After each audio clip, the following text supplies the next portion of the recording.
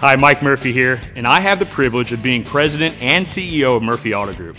Welcome to the MAG family. We're glad you're here.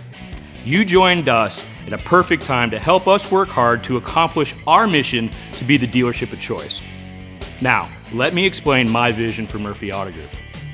My vision for the Murphy Auto Group is that each dealership reaches its full potential and sustains its competitive market advantage to accomplish the MAG mission to be the dealership of choice.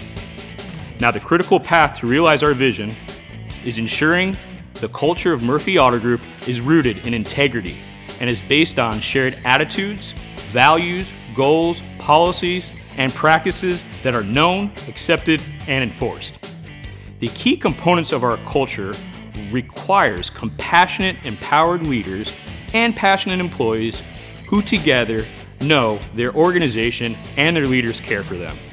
The desired end state for MAG is that we are successful, profitable, and that we take care of our people, customers, and communities. Again, welcome to the MAG family.